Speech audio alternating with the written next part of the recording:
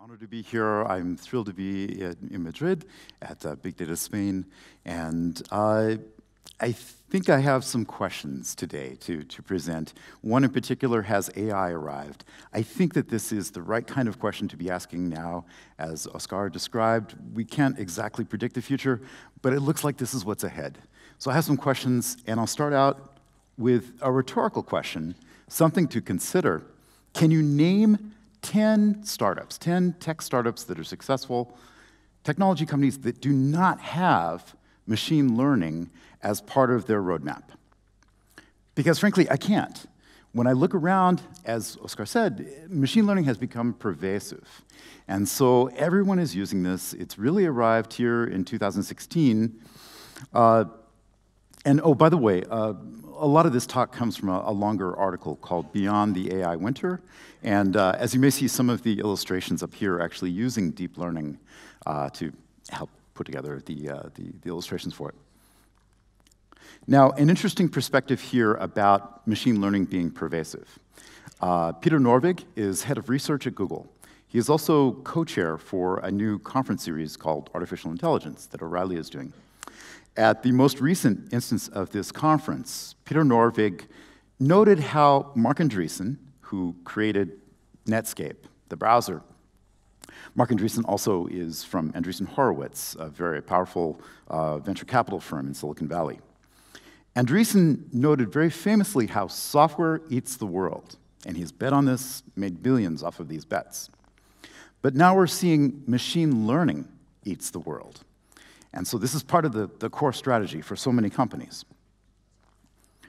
Also, a related perspective is from Pedro Domingos. He is a professor of machine learning at the University of Washington. Uh, I've cited uh, his works in a lot of my courses and, and, uh, and books and all. Uh, Pedro Domingos has a new book out called The Master Algorithm, and I highly recommend this. Uh, I think it's a, it's a tour de force of looking throughout machine learning, looking at all the different parts, the different camps, how they fit together. Domingos believes that we're getting close to something that he calls a universal learner. This is related to the quest for unsupervised learning. It's going to take some work. We're not there yet, but we're getting closer. There's an excellent quote that Domingos has in his book here. The future belongs to those who understand at a very deep level how to combine their unique expertise with what the algorithms can do. And so that's kind of a theme that I would like to present here today. I believe that this is one of the important questions of where we are at right now in 2016. Uh, Domingos, in his book, notably, he describes five different tribes in machine learning. There are the symbolists, the connectionists, the evolutionaries, the Bayesians, and also the, uh, the analogizers. Each of these five camps has made incredible breakthroughs over the years, and they all have requirements in terms of big data, in terms of distributed systems, frameworks that we use. They place a lot of very interesting kinds of engin uh, engineering requirements on those. But one problem with machine learning is that these different camps have not historically worked together. They have not talked with each other. There's a lot of rivalry. Um, and yet we see there are indications of how they're starting to converge. On page 54, in particular, of Domingo's book, uh, there's a great slide. Uh, I'll leave that as a surprise if you check out the book. Now, related to this, over the past couple of years, deep learning has just exploded.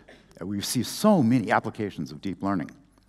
And so, among those five tribes that Pedro Domingos described, the connectionists are now prevailing. Uh, this is interesting. There's a lot of excellent work that's being done with deep learning. For instance, when you look at the history of self driving cars, there was a lot of work to engineer how to automate driving. But when neural networks uh, arranged as deep learning, when this became more feasible to, to use for self-driving cars, a lot of what had been specialized tasks in the automation of cars began to be subsumed by deep learning, and it really accelerated, it generalized the process of doing this kind of automation. So we're seeing deep learning rolling out in a lot of places. I'll show some examples of this. Even so, deep learning is not all of machine learning, and machine learning is not all of machine intelligence. And so I think this begs the question what else is missing? If we're really focused on deep learning now, what are the other parts that need to be augmented, that need to be evolved and developed? So, first off, I want to show some examples. Uh, and again, we're using some deep learning here for the imagery. Uh, when we look at the major tech firms, all of these have very large AI emphasis, very large AI projects. Uh, you know, clearly what's going on with Google, a lot of AI there. Amazon has Alexa, IBM has Watson, Microsoft, Baidu, Intel, Facebook, et cetera. All the tech majors are investing very heavily in AI projects and bringing this out to consumers. Uh, if, I apologize, this uh, slide here I know is the type on there is very small. It's too small to read on the screen. But if you check the link, and the slides will be published, uh, this is an excellent landscape diagram uh, from a couple of friends of mine, uh, Shivon Zilis and James Cham at Bloomberg Beta. It's a VC firm in San Francisco, and they've taken a look at, at mapping out the landscape of not just the tech majors, but the other companies that are filling in the, uh, connecting the different parts of AI. Um, who are the people who are bringing this technology out to market? And it's fascinating because there are so many. Now, in terms of specific examples, one that I really like has come out recently from Microsoft Research. They were able to reach human parity in terms of transcribing conversational speech. So if you had a recorded conversation, maybe a video, they could come out with transcripts that are exceeding the quality of human transcribers. Uh, reaching human parity, that's, that's a milestone. That's a kind of metric that we can use to assess that, yes, there is a kind of AI going on here. And at O'Reilly, certainly we have a lot of applications for using this. I look forward to being a user for it. Now, uh, similarly, this is a paper that's still in review. It's not exactly published yet, uh, but it just came out where they're using AI for lip reading, and they're about to reach human parity in terms of lip reading. Uh, for those of you who've ever watched, one of my favorite films is 2001 Space Odyssey. Um, there's definitely a, a, humorous aspect to having AI be doing uh, lip reading. Um, but I think that realistically, when we look for examples of AI, I would point to something like the control system that is at the heart of Uber. Because what you have there is automation. It relies on a lot of different machine learning components, but quintessentially, it's manipulating a complex supply chain for some kind of desired outcome. It's manipulating this complex supply chain that involves a lot of humans and a lot of machines. There are the drivers, there are the, the customers, there are the cars, et cetera. But manipulating that supply chain for the outcome of profit for Uber, obviously. And I think that we'll see that kind of effect as AI rolls out. When I was doing AI work back uh, as a grad student 30 years ago, when we talked about AI, it was in the context of planning systems, schedulers, control systems, something that's more complex, having an outcome. And so I think that what we're seeing with companies like Uber, this is the shape of, of a lot of AI work going forward. Uh, in terms of art and literature, I would point to a couple of favorite examples. Uh, there's a, a, short video here called Sunspring. It's a science fiction video. I think it's only nine minutes long. Uh, it's a short film, and uh, here's Elizabeth Gray, one of the actresses, lead actresses. And the interesting thing is that the actors had less than a day to prepare for this. The script was generated by deep learning. It's an AI called Benjamin, it's an LSTM, and it took in a lot of science fiction text and, and emitted a science fiction movie script. Uh, so I think it's fascinating. You definitely can tell that the, the dialogue is a little bit awkward because it was generated by a machine, but you also can tell that it's a science fiction story. And another example, too, from Flash Forward, they take uh, science fiction stories and they produce radio plays as a podcast. And then they bring in experts from a number of fields experts from anthropology, experts from linguistics, experts from science and engineering to deconstruct the story. And in this case, there's a story called The Witch Who Came from Mars, which was generated, again, by deep learning. Uh, it's definitely a science fiction story. It's actually a, a, pretty good story. It's short, but it's another example of what AI is capable of doing at this point. So, uh, at O'Reilly, we've initiated a series, a new conference series called Artificial Intelligence. The first one was in New York City in September, and we followed that up with another related event called Bot Day, uh, looking at conversational bots. Uh, that was in San Francisco in October. The next one is coming up in New York City in June, And the call for proposals is open through January. Uh, this will be a large event. I highly recommend it. Uh, we've been getting some excellent content. Tim O'Reilly and Peter Norvig are the co-chairs on this. Uh, when we had the event in New York City in September, as you might imagine, there was a lot of deep learning covered. But there are also other parts beyond deep learning, and that's what I'd like to address. So first off, Peter Norvig, uh, he, he brought out a theme here that when we talk about AI systems and bringing this out to the market, it really compels a lot of sophisticated engineering. And here's an excellent talk where he's showing at Google the level of complexity of engineering, what they have to deal with. Uh, so some observations. Machine learning inherently is, it makes systems difficult to debug, it's hard to revise it incrementally, it's hard to validate, there's less transparency into the algorithms being used, it's much more difficult to isolate components to be able to debug them, and in general, it accelerates tech debt. So if you're familiar with software engineering, tech debt becomes a very crucial issue. There's a great paper here, the first one referenced machine learning, the high interest credit card of technical debt. And so it's a very important point to consider. A lot of what we're doing with cloud and with big data and with distributed systems, uh, of course, is made great use of in terms of AI, and this tech debt is, is the crux of it. Now, in contrast, Carlos Guestrin is he's the co-founder for a company called Dato, which was recently acquired by Apple Computer. And Carlos makes a counterpoint here. There's a system that he has called Lime, and there's a couple of talks here, one from uh, Strata and another one from KDD. And what they're doing is to use machine learning to explain more complicated machine learning models. So he's addressing some of the transparency issue of, of algorithms and effectively paying down some of that tech debt. I think we'll see more of this, AI explaining itself. So overall, the impact on big data, cloud, et cetera, the impact is that AI is driving product features, consumer product features, and this is from the major players. And when we look at this, you definitely see the cloud vendors are the ones who are making some of the biggest bets. Uh, Google, Microsoft, Amazon, et cetera. Um, they're the major players in this space. And so for those of us here at Big Data Spain, you're in the right place at the right time.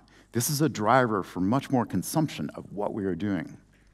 I do believe that the major benefactors of this will be in other verticals, though. Verticals such as healthcare, manufacturing, we're seeing a lot of uptick where this is applied, as well as energy, transportation, agriculture, et cetera. Now, another point that has surfaced out of our, our conferences, this is from Genevieve Bell, who is an Intel fellow and head of user experience at Intel. She's an anthropologist by training, and from her perspective, an anthropologist would look at AI or would, would interact with AI and would ask certain questions. Who raised you? Who, who were your mothers? Who were your fathers?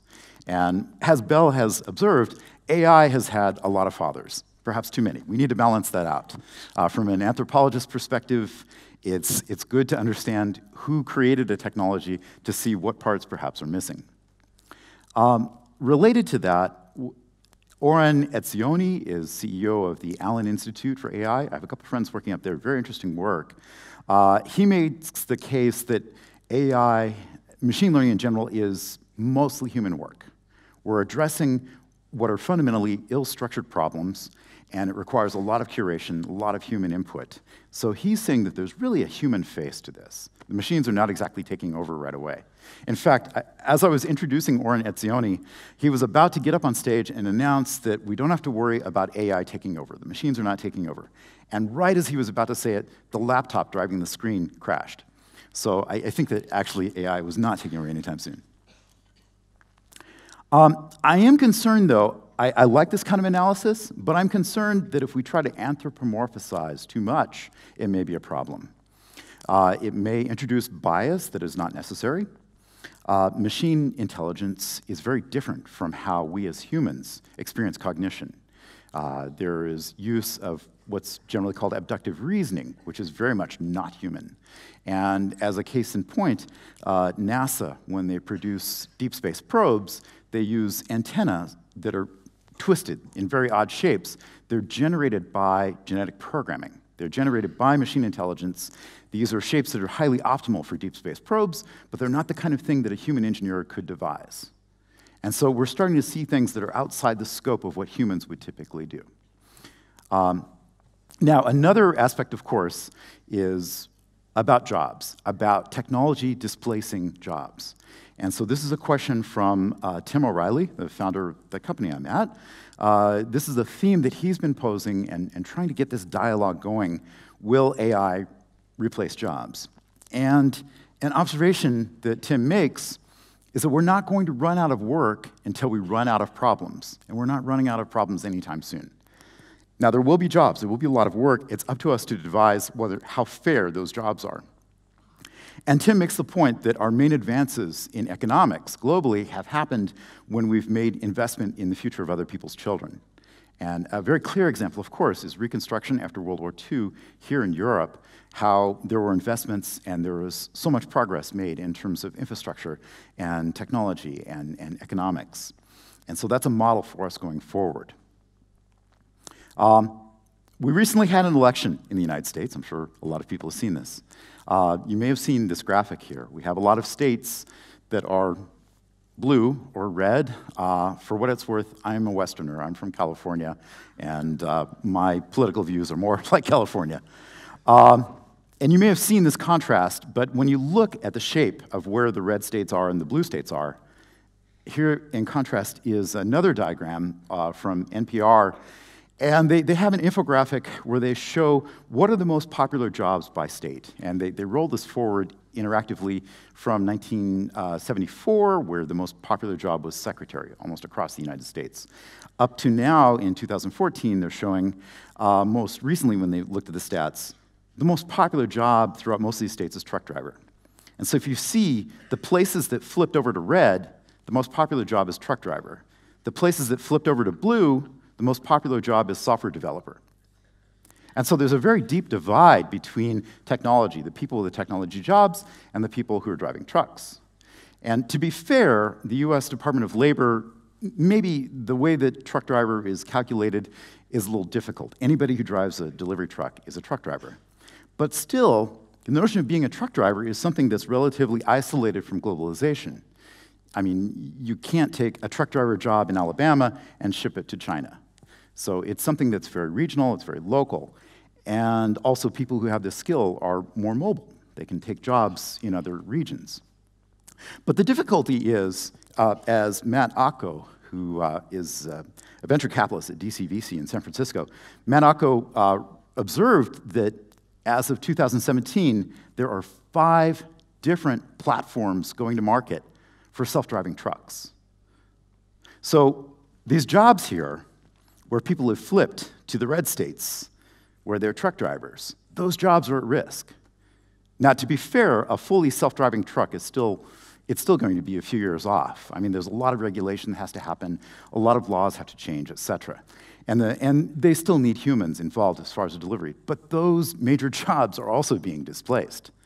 Uh, now, some people contend that the economic models need updates. That, for instance, I've, I've pointed here, if you follow the link, there's a speculation that global economics has some inherent inflationary aspects, whereas technology causes some very abrupt deflationary aspects, and that what we're experiencing is a kind of chaos as these two interact.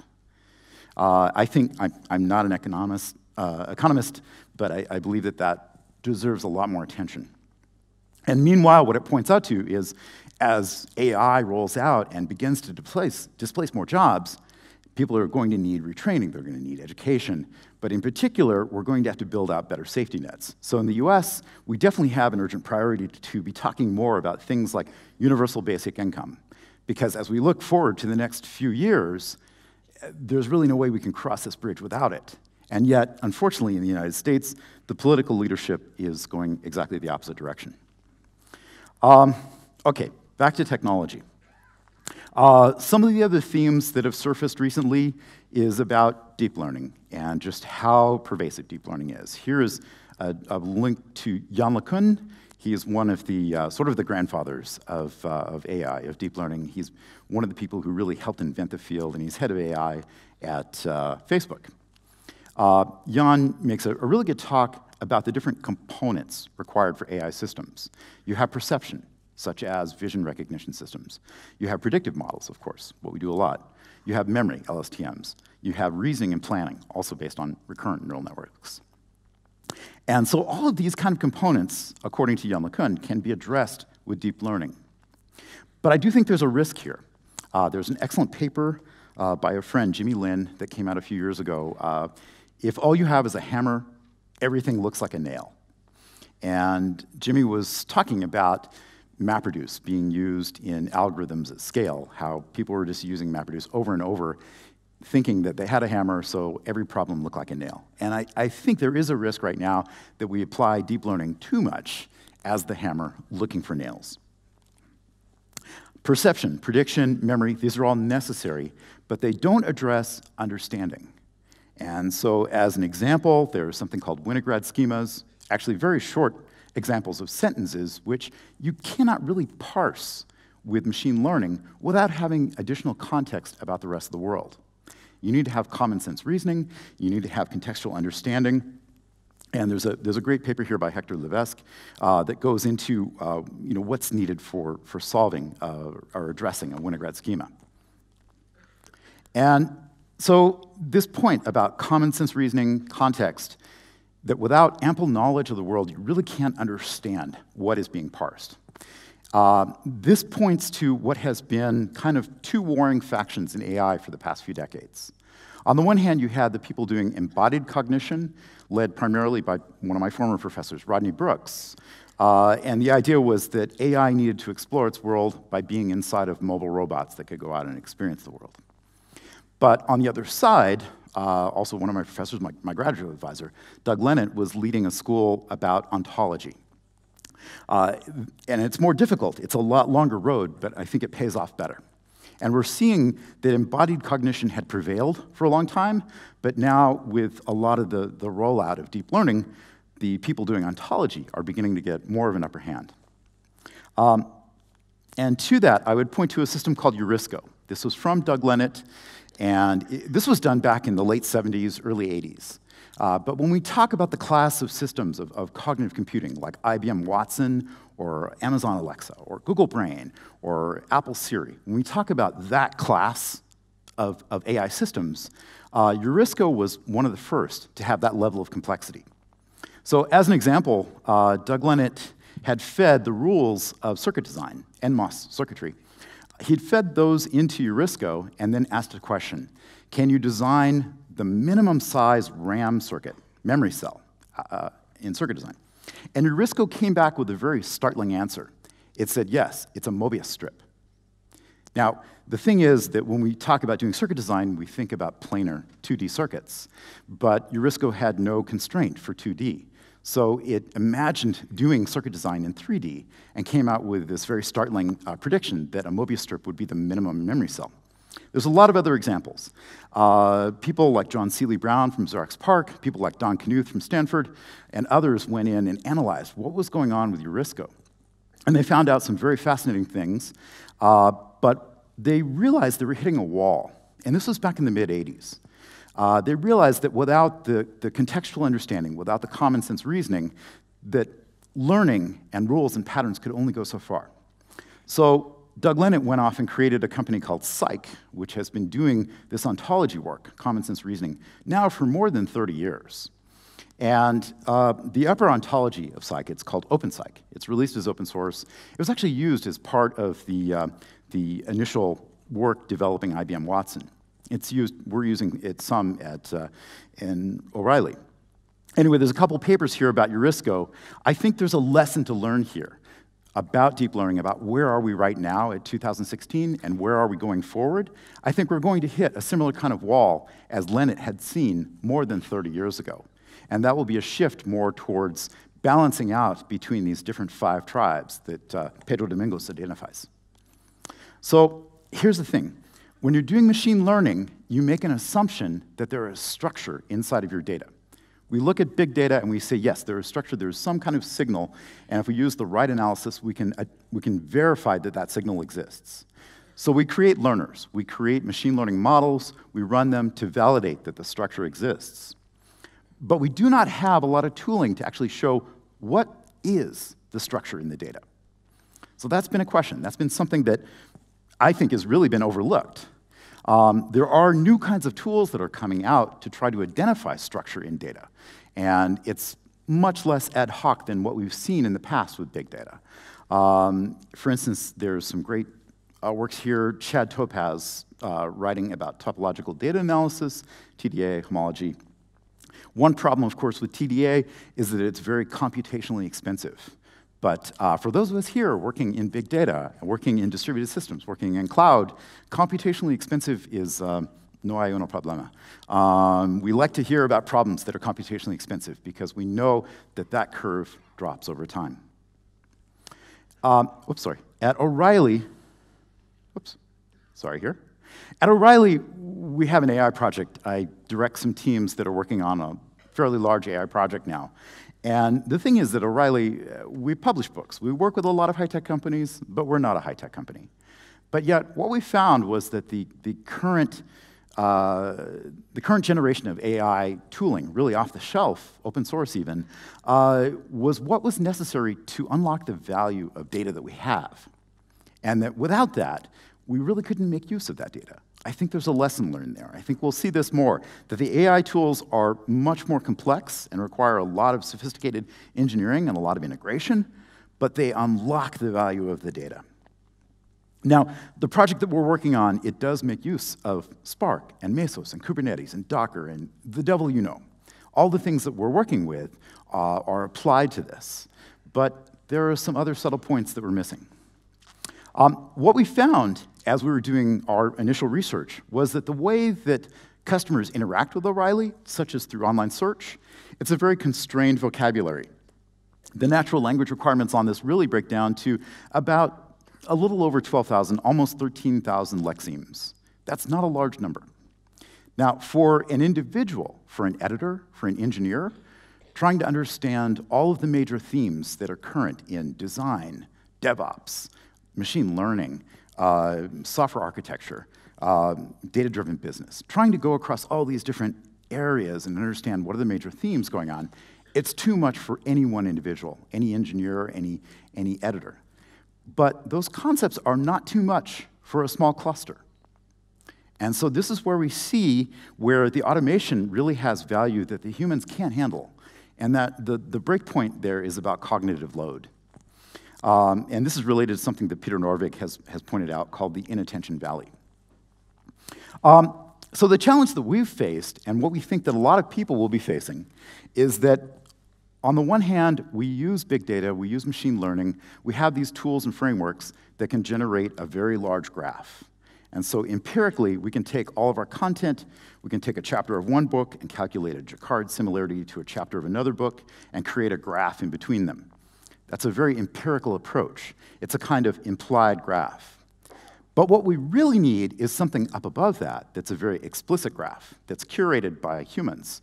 That is much more useful for making queries, for being able to do search rewrites, for being able to do recommendations, and other types of very critical analysis. And so the problem that we've faced, and what we think a lot of people will face, is maintaining a kind of structural integrity between these two graphs the empirical one that's generated by the tools, and then the more rationalized one that's generated by human curation up above. So there's sort of a solve et coagula problem there of keeping these two in sync. And there's not a lot of tooling yet for these. We hope that that kind of tooling emerges. Um, to close, I'll point to an excellent talk that I think summarizes a lot of this uh, by a friend, David Beyer at Amplify Partners. And uh, David is a VC, he's an investor in Silicon Valley, and he, he had this excellent talk here a few months ago about how AI is reshaping global industries. And as an investor, as a VC, really what is his scorecard for looking at particular verticals and looking at particular new companies and seeing are they really ready to make the shift into AI? Um, in particular, David points out about a century ago, when you look at the transition from steam power to electric power, it took a generation for that narrative to complete. It took a generation because the people who built factories coming from steam power, they kept designing this way. Even though they had electrical generators, they would still design the factory layout as if they still had steam. It took a generation for those people to swap out of the workforce before we could really transition from steam to electric. Now, we're seeing that AI is very much quicker adoption, but there are similar extremes of cognitive embrace, of really understanding what it is that the machines do versus what the people do. And so I, I pose this as a challenge. I believe that we, need to, we have an obligation to distinguish between what humans and computers can do well, respectively. The humans are much better at managing large-scale cognitive load, being able to handle the speed, the scale, the repeatability, uh, these things we know from big data. The humans, however, are much better at curation. And so being able to distinguish between that is important. The organizations that focus on building that expertise for AI applica applications, I believe will have a distinct advantage. And I believe that all of us here, that we're in the right place at the right time. Uh, it's very exciting to see what is rolling out. I wish you very well, and thank you very much.